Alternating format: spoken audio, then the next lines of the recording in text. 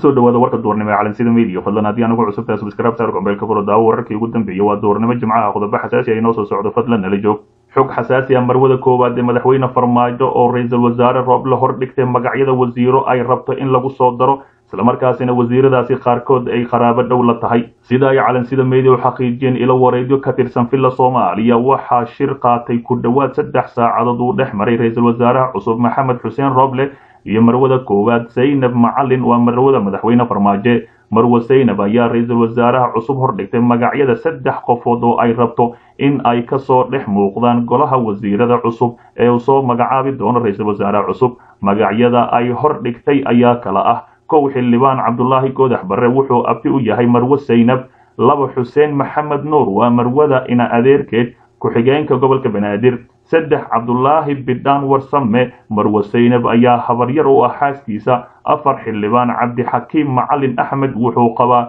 gabadha ka yar marwe zaynab waxaa sidoo kale ra'iisul wasaaraha cusub u soo dhiibay magacyada ay rabaan in laga dhex arko golaha wasiirada guddoomiyaha baarlamaanka federaalk soomaaliya maxamed mursal sheekh cabdiraxmaan iyo ku-xigeenkiisa master muudey waxayna u soo dhiibeen ilaa shan magac oo la rabo in lagu soo daro golaha wasiirada cusub kow cabdixakiim maxamuud xaaji faki mirifle cabdiqaadir maxamed nuur jaamac mirifle doctor cali saciid digil subaydo maxamed mukhtaar mirifle fawsiye maxamed sheikh mirifle dhammaantoodba waxaa la rabaa in wasiirada lagu soo diro hase ahaatee mursal iyo muudey ayaa waxa ay wataan raggaasi iyo gabadhaasi ku jirta islamarkaasina ka dhex muuqda wasiirada cusub. Si kastaba ha ahaatee ra'iisul wasaaraha cusub ayaa la kala jiijiidanaya ama la kala xodxodanaya islamarkaasina qof walba waxa uu doonaya ama mas'uul kasta in halkaasi wasiir oo ku lahaado. Dhinaca kale maxay ka wada hadleen waare iyo xildhibaanada baarlamaanka ee ka soo jeeday hirshabeelle? Madaxweynaha dowlad goboleedka hirshabeelle maxamed cabdi waare ayaa magaalada muqdisho kula kulmay xildhibaanada labada aqal ee dowladda federaalk soomaaliya islamarkaasina ka soo jeeday hirshabeelle. Kulankani ayaa ku saabsanaa is-xog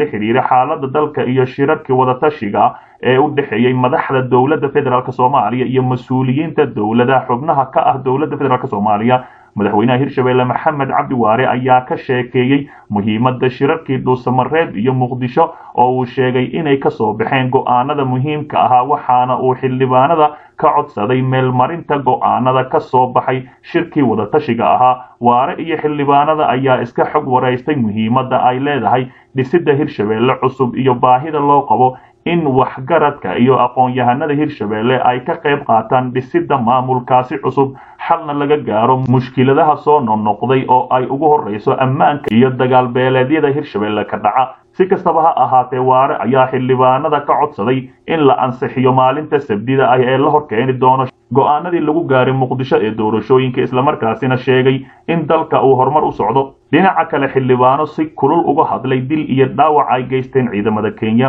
Xildhibaano ka tirsan golaha shacabka baarlamaanka soomaaliya ayaa waxa ay si kulul uga hadleen dhacdo doraad ka dhacday gobolka gado taas oo ahayd in ciidamada kenya ay dileen hal qof oo shacab ahi saddex kalena ay kaxaysteen. Falkaasi ayaa waxa uu ka dhacay deegaanka yado oo labaatan iyo shan kilomitir dhanka waqooyi bari ka xiga degmada ceelwaq ee gobolka gedo waxaana dadka la kaxaystay ilaa iyo hadda la la-yahay halka ay geeyeen ciidamada kenya xildhibaan haashim nuur aadam oo ka mid ahay xildhibaanada golaha shacabka ayaa cambaareeyey falkaasi isaga oo sheegay in arrintaasi ay ka dambeeyeen ciidamada kenya oo aan ka tirsanayn amisom waxaana kenya uu ugu baaqay in looga baahan yahay inay falkaasi jawaab deg deg ah ka soo bixiso. Dhinaca kale xildhibaan daahir amiin jesow ayaa dhankiisa sheegay in dowladda kenya horay dhibaato xooggan loogu qabay isaga oo sheegay in deegaanada jubbaland uusan ka jirin wax maamul ahi uuna ku baaqay in loo dhiso maamul cusub xilli madaxweynaha jubbaland oo ku sugan yahay magaalada muqdisho. Saraakiisha ciidamada dowladda kenya ee ka howlgala dhanka xuduudda soomaaliya weli wax jawaab ahi kama soo bixin oo ku aadan eedaynta loo jeediyey ee ah in hal qof oo shacab ahi ay ku dileen duleedka ceelwaq saddex kalena ay ka kaxaysteen.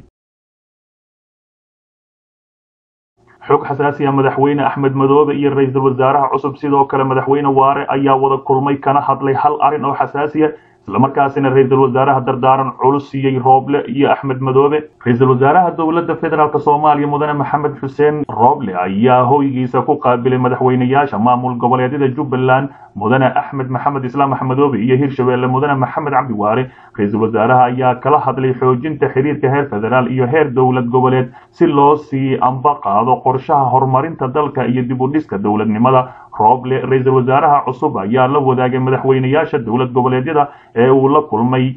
muhiimadda ay leedahay in la ilaaliyo midnimada iyo wadajirka iyadoo wax kasta laga horumarinayo danta guud ee dalka. Axmed madoobe iyo waare ayaa xilkan cusub ugu hambeliyey ra'iisul wasaaraha waxayna ku booriyeen inuu soo dhiso xukuumad tayo leh oo ka turjumaysa hiigsiga shacabka soomaaliyeed. Ra'iisul wasaaraha cusub ayaa sidoo kale waxa uu shalay kulan la qaatay cabdiraxmaan cabdishakuur warsame oo ay iska xog wareysteen xaaladda amni iyo siyaasadda ee dalka isaga oo u muujiyey sida uu ugu furfuran yahay dhammaan aragtiyada kala duwan ee siyaasadeed. Mudane rooble ayaa dhammaan mas'uuliyiinta uu la kulmayo waxa uu ka dhegaystay talooyinka iyo tusaalooyinkooda ku aadan horumarinta dalka xoojinta dowladnimada iyo hirgelinta qorshayaasha hortabinta u leh shacabka soomaaliyeed sida lagu sheegay qoraal ka soo baxay xafiiska ra'iisul wasaaraha cusub. Si kastaba ha ahaatee axmed madoobe iyo waare ayaa si fiican ay isku fahmeen ra'iisul wasaaraha cusub islamarkaasina halkaasi ku wada ballamay in dalka mid loo noqdo islamarkaasina la samato bixiyo. Dhinaca kale maxkamadda gobolka banaadir oo sii daysay qaar ka mid ahi dadkii loo haystay dilkii xamdi iyo heladeeda oo halkaasi ka mudaharaaday qaarkood. Waxaa shalay maxkamadda gobolka banaadir la geeyey toddoba qofood oo u xirnaa kiiskii kufsiga iyo dilkii koo iyo tobankii bishii hotel ku yaalla muqdisho loogu geystay